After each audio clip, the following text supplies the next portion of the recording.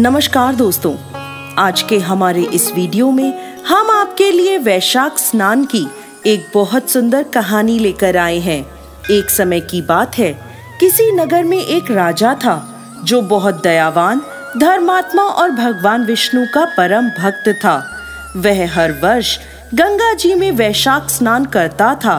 एक समय जब वैशाख मास आया, तब राजा ने निश्चय किया कि मैं इस नगर का राजा हूँ मुझे पूर्ण अधिकार है कि मैं सबसे पहले गंगा जी में स्नान करूँ। उसने सारे नगर में ढिंडोरा पिटवा दिया कि गंगा जी में सबसे पहले वह स्नान करेगा और बाद में सब। यदि कोई पुरुष उससे पहले स्नान करेगा तो वह उसे अपना आधा राज्य दे देगा। और यदि कोई महिला उससे पहले स्नान करेगी तो वह उससे विवाह कर लेगा। ऐसा कहकर राजा ने गंगा जी के घाट पर पहरा कड़ा करवा दिया। पहरेदार सारी सारी रात गंगा जी पर पहरा देते और राजा सुबह सबसे पहले घाट पर आता और स्नान करता, परंतु उसे घाट गीला मिलता था और पानी हिलता हुआ दिखता था। राजा ने घाट पर पहरा कड़ा करा दिया, परंतु रोज का यही नियम था, क्योंकि घाट के किनारे पेड़ पर एक बंदरिया रहती थी जो रोज सुबह सबसे पहले गंगा जी में स्नान करती थी, अपने पिछले जन्म के कुकर्मों से उसे बंदरिया का जन्म मिला था और उसे अपना पिछला जन्म याद था। वो भगवान विष्णु की भक्त थी, इसलिए वैशाख स्नान करती थी। देखते ही देखते वैशाख मास समाप्त होने को आया। एक दिन एक सिपाही ने बंदरिया को स्नान करके निकलते हुए देख लिया और उसे पकड़ लिया। राजा के आने पर उसे बताया कि यह आपसे पहले यहाँ स्नान करती है। बंदरिया को देख राजा को आश्चर्य हुआ। तब बंदरिया ने इंसान की भाषा में उसे सारी बात बता दी। अब जैसे कि राजा ने प्रण लिया था, उसने बंदरिया से शादी कर ली। बंदरिया को यह पता था कि उसके वैशाख स्नान के फल स्वरूप वह रानी बनी है। राजा ने बंदरिया के साथ अपना पति धर्म निभाया। राजा की बहुत सी रानियाँ थी जो बंदरिया का मज़ाक बनाती थी। देवयोग से बंदरिया को गर्भ ठहर गया। धीरे धीरे नौ महीने का समय बीता और बच्चा होने का समय नज़दीक आ गया। एक समय बंदरिया ने राजा से पूछा, जब बच्चा होने को होगा तो मैं आपको कैसे बताऊँगी? राजा ने बंदरिया के कमरे में एक घंटी लगवा दी और बोला, जब तेरे दर्द हो तो तू यह घंटी बजा देना, मैं आ जाऊँगा। जब बाकी रानियों ने घंटी देखी तो पूछने लगी, यह घंटी क्यों लगवाई है? तो बंदरिया ने सारी बात उन्हें बता दी। रानियाँ हंसने लगी और बोली, जरा बजा कर तो देखो, राजा जी आते हैं या नहीं? बंदरिया ने घंटी बजा दी। राजा दौड़ा दौड़ा वहाँ आया और पूछने लगा, क्या हुआ? दर्द हो रहा है? बंदरिया बोली, मैं तो देख रही थी कि आप आते हैं या नहीं। यह सुनकर राजा को बहुत गुस्सा आया। उसने गुस्से में घंटी उतरवा दी। एक दिन बंदरिया को दर्द होने लगा तो रानिया बोली, तू आँखों पे पट्टी बांधकर लेट जा, इससे तुझे दर्द नहीं होगा। वैशाख मास के पुण्य के प्रभाव से बंदरिया ने एक बहुत सुंदर पुत्र को जन्म दिया। उसे देखते ही सभी रानियाँ चिढ़ गईं। क्योंकि उनके कोई संतान नहीं थी। वह सोचने लगी, अब यह राजकुमार बनेगा और बंदरिया राजमाता बन जाएगी। सभी रानियों ने एक योजना बनाई और बड़ी रानी बच्चे को कपड़े में ढककर बाहर ले गई। दासी को बच्चे को देकर बोली, इसे नदी में बहा दो। ऐसा कहकर रानियों ने बंदरिया के पास एक पत्थर रख दिया। जब राजा आया और पूछने लगा कि क्या हुआ है तब रानिया बोली, इस बंदरिया ने पत्थर जना है। पत्थर देखकर राजा ने सोचा, जब बाकी रानियों को ही बच्चा नहीं हुआ तो इस बंदरिया को कैसे होगा? उधर जब वह दासी बच्चे को नदी में बहाने लगी तो उससे ऐसा नहीं किया गया। दासी ने देखा कि नदी के किनारे एक कुम्हार मिट्टी के बर्तन बना रहा है। दासी ने मिट्टी के बर्तन में बच्चे को रख दिया और वहाँ से चली गई। कुम्हार ने जब बच्चे के रोने की आवाज़ सुनी तो बच्चे को देखकर वह बहुत प्रसन्न हुआ, क्योंकि उसके कोई संतान नहीं थी। अब कुम्हार और कुम्हारिन उस बच्चे का प्यार से लालन पालन करने लगे। वह जानते थे कि यह बच्चा किसी उच्च परिवार का है, क्योंकि वह एक रेशमी कपड़े में लिपटा हुआ था। देखते ही देखते वह लड़का बड़ा होने लगा।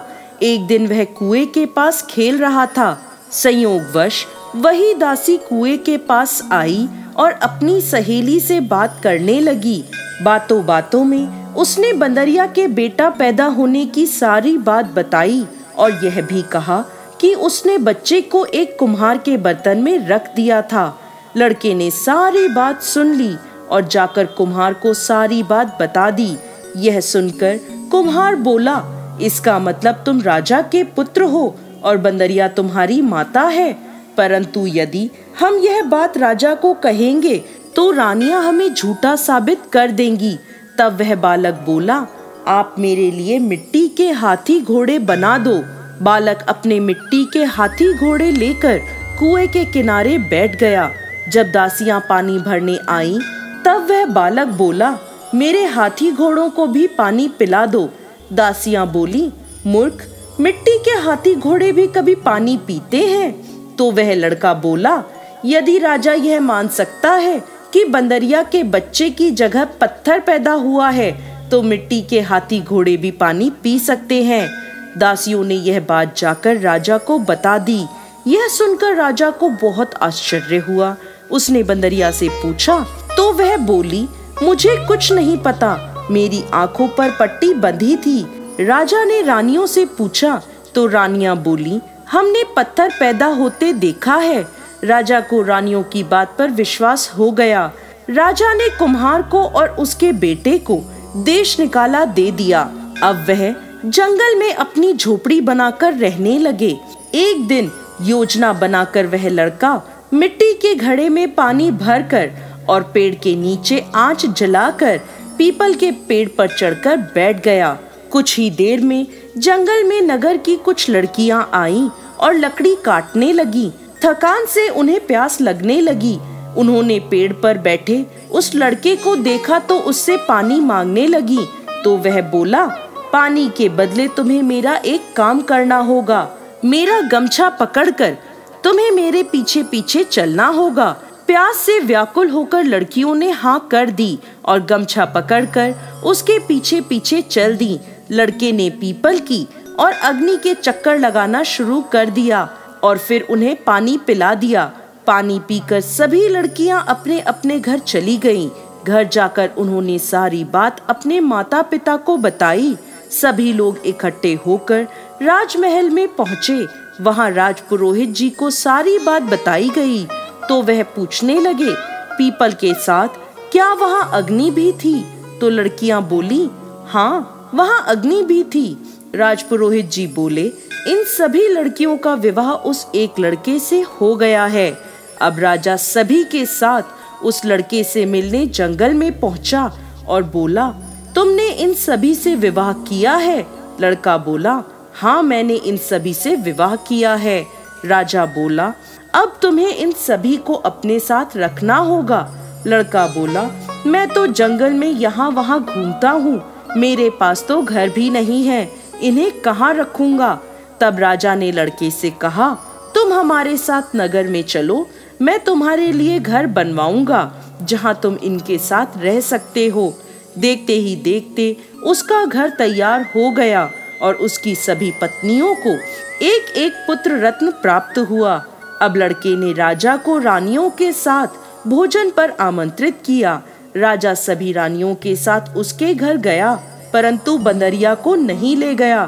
तब लड़के ने पूछा, आप अपनी सबसे छोटी रानी को अपने साथ क्यों नहीं लाए? राजा बोला, उसे समझ नहीं है, इसलिए वह बाहर नहीं आती जाती। लड़के के आग्रह करने पर बंदरिया को वहाँ बुलवाया गया। बंदरिया के आते ही लड़के ने उसके पैर छुए और उसे पूजा में बिठाया। अपनी सभी पत्नियों से कहा रानी माँ का आदर करते हुए एक एक कर बच्चों को इनकी गोद में दो और इनसे आशीर्वाद लो। यह सब देखकर बाकी की रानियाँ चिढ़ गईं और राजा से बोली, हमें बुलाकर ये हमारा अपमान कर रहा है। हम यहाँ नहीं रुकेंगे। ऐसा कहकर सभी रानियाँ वहाँ से जाने लगी। तभी वह लड़का बोला, ये मुझे जन्म देने वाली मेरी माँ है। राजा बोला, ये तुम क्या कह रहे हो? तब लड़के ने रानियों की योजना की सारी बात राजा को बता दी और उस दासी से गवाही दिलवाई। यह सुनकर राजा को बहुत क्रोध आया और उसने अपनी सभी रानियों का त्याग कर दिया और बंदरिया रानी, पुत्र बहुओं और पोतों के साथ महल में सुख पूर्वक राज करने लगा। हे भगवान विष्णु, जैसी कृपा आपने उस बंदरिया पर करी, वैसे ही इस कहानी को कहते, सुनते और हुंकार भरते सब पर करना। जय श्री हरि विष्णु।